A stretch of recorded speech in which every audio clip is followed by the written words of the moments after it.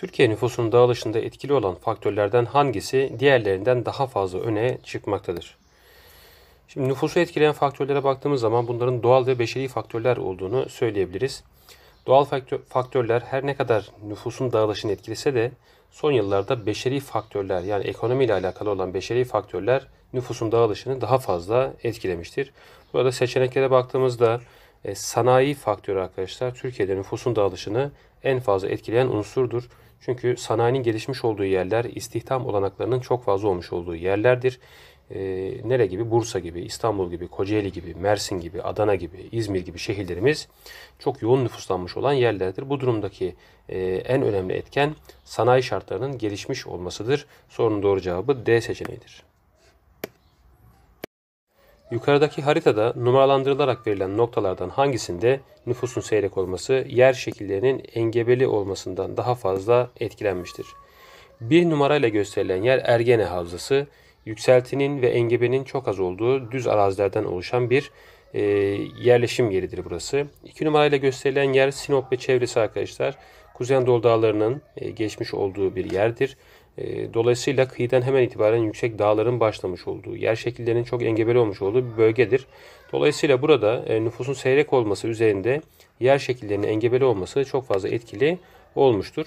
Diğer seçeneklerimize baktığımızda 3 numarayla gösterilen yer Ege bölgesi. Yükselti ortalaması az, yer şekillerinin e, biraz daha sade olmuş olduğu bir yerdir 3 numarayla gösterilen yer. 4 numara yükselti ortalaması fazla olsa dahi yer şekillerinin biraz daha düz olduğu, e, nüfusun seyrek olmasının sebebinin daha çok kuraklık olduğu bir e, bölgemizdir. 5 numarayla gösterilen yerde yine e, yer şekillerinin sade olduğu, kuraklığa bağlı olarak e, nüfusun seyrek olmuş olduğu bir e, bölgemizdir. Ancak 2 numarayla gösterilen yer engebeli arazi yapısından dolayı seyrek nüfuslanmış olan bir bölgemizdir. Dolayısıyla sorunun doğru cevabı B seçeneğidir. Türkiye'de nüfusun yoğun olduğu alanlar genelde iklimi elverişli olan denize yakın yerlerdir. Yukarıdaki haritada verilen yerlerden hangisi uygun iklim şartlarına rağmen yoğun nüfusu yerlerden biri değildir? Bir ile gösterilen yer arkadaşlar Bursa, Yalova çevresi. E, Akdeniz ikliminin yaşanmış olduğu bir yerdir. Oldukça uygun bir e, iklim vardır ve deniz kenarında bulunan bir yerdir. E, yoğun nüfuslanmış olan şehirlerimizden bir tanesi. İki ile gösterilen yer İzmir ve çevresi.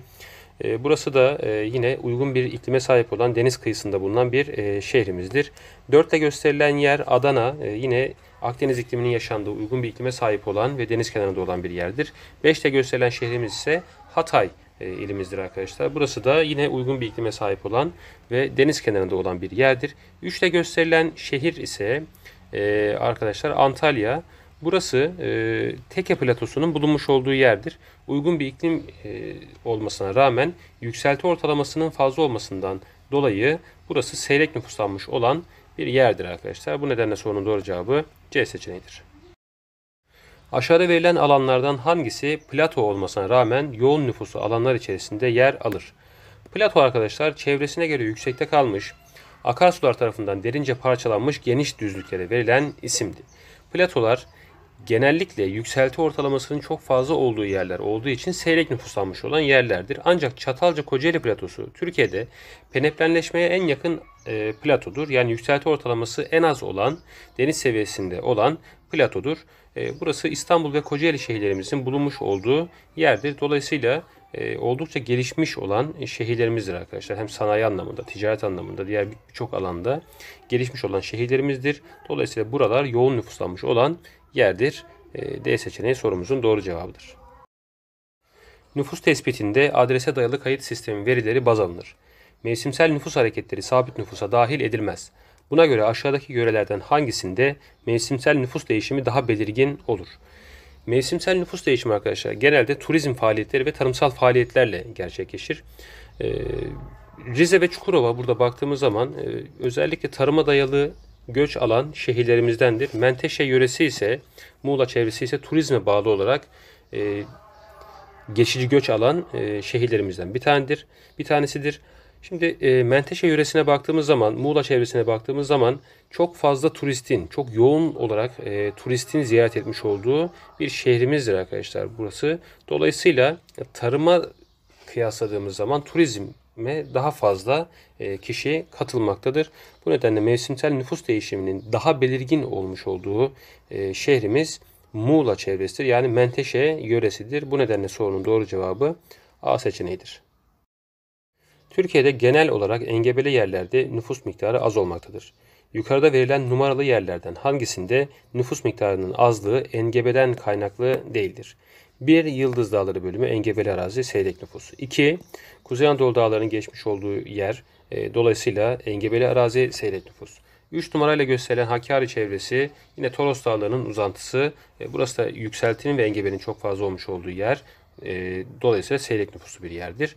4 numara Teke Platosu'nun bulunmuş olduğu yer. Burası da yine yükseltinin ve engebenin fazla olmuş olduğu bir yer olduğu için seyrek nüfuslanmıştır. Ancak 5 ile gösterilen yer Tuz Gölü ve çevresi Türkiye'de kuraklığın en belirgin olduğu yerlerden bir tanesidir. Dolayısıyla sıcaklığın ve kuraklığın fazla olmasından dolayı e, burada nüfus miktarı azdır. Sorunun doğru cevabı E seçeneğidir. Türkiye genç nüfus oranının yüksek olduğu ülkelerden biridir. Nüfus artış oranı son yıllarda azalma göstermektedir. Nüfus artış oranının azalmasında etkili olan en önemli faktör aşağıdakilerden hangisidir? Türkiye e, nüfus artış oranının giderek azalma gösterdiği ülkelerden bir tanesidir.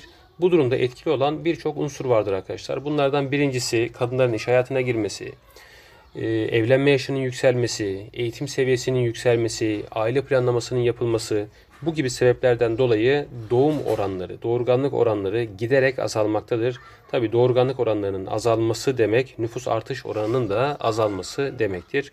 Bu nedenle sorunun doğru cevabı A seçeneğidir. Türkiye üniversite sınavına yaklaşık 2,5 milyon adayın yarıştığı bir ülkedir.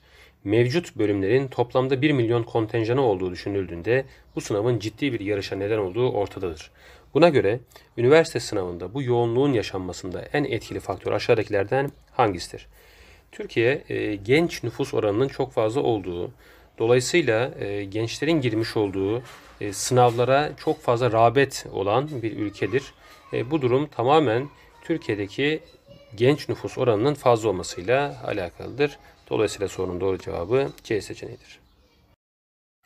Yukarıda numaralandırılarak verilen yerlerden hangisinde kentli nüfus oranının daha az olduğu söylenebilir? Bir ile gösterilen yer Kocaeli, sanayi, sanayisi çok fazla gelişen, e, kent nüfus oranının çok fazla olduğu bir şehrimizdir. İki numarayla gösterilen yer Bursa arkadaşlar. Bursa'da yine sanayinin çok fazla gelişmiş olduğu, tarıma dayalı sanayi kollarının da çok fazla gelişmiş olduğu bir şehrimizdir. Dolayısıyla kent nüfus oranı oldukça fazladır. Üçte gösterilen şehrimiz Antalya. Turizmin çok fazla geliştiği, çok gelişmiş şehirlerimizden bir tanesidir. Dolayısıyla burada kent nüfus oranının fazla olmuş olduğu şehrimizdir. 5 numarayla gösterilen şehrimiz Adana. Adana'da özellikle tarımın ve tarıma dayalı sanayi kollarının çok fazla gelişme gösterdiği bir sanayi şehrimizdir. Dolayısıyla burada e, kent nüfus oranının fazla olmuş olduğu şehirlerimizden bir tanesi. Ancak 4 numarayla gösterilen yere baktığımız zaman burası Taşeri Platosu. Mersin ile Antalya arasında bulunan bir yerdir. Yükselti ve engebe fazladır. Dolayısıyla burada kent nüfus oranının biraz daha az olduğunu söyleyebiliriz. Sorunun doğru cevabı D seçeneğidir.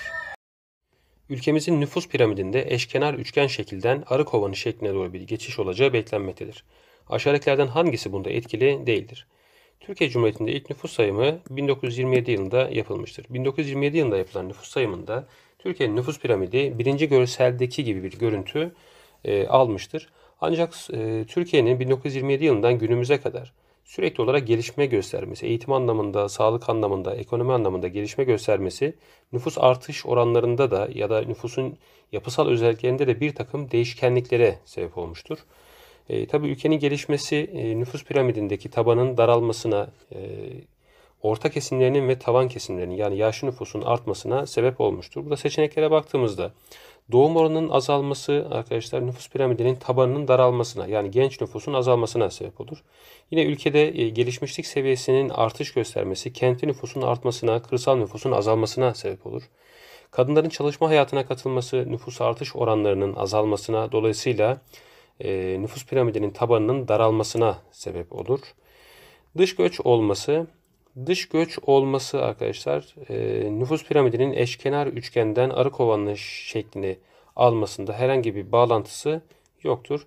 Eğitim oranının artması yine ülkede e, nüfus artış oranlarının azalmasına sebebiyet verecektir. Bu bilgi de doğru ancak dış göç olması e, doğru değildir. E, sorunun doğru cevabı da D seçeneğidir.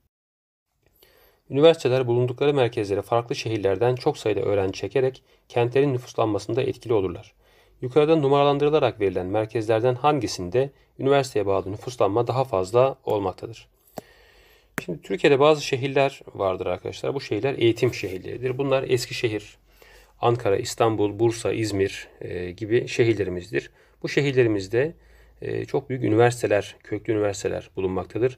Dolayısıyla bu üniversiteler Türkiye'nin birçok şehrinden ya da dünyanın birçok ülkesinden e, öğrenci çekerek nüfuslarının artmasına e, sebep olurlar. Baktığımız zaman bir numarayla gösterilen şehrimiz İstanbul.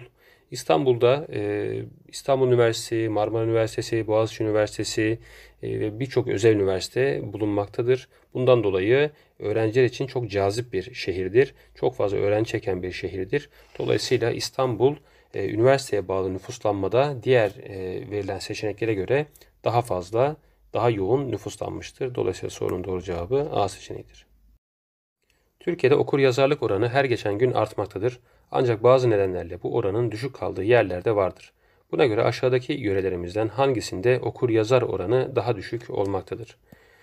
Türkiye'de temel eğitimin 12 e, yıla çıkartılması, eğitim seferberliğinin başlatılması bazı dönemlerde okur yazar oranının çok ciddi yükselmesine sebep olmuştur.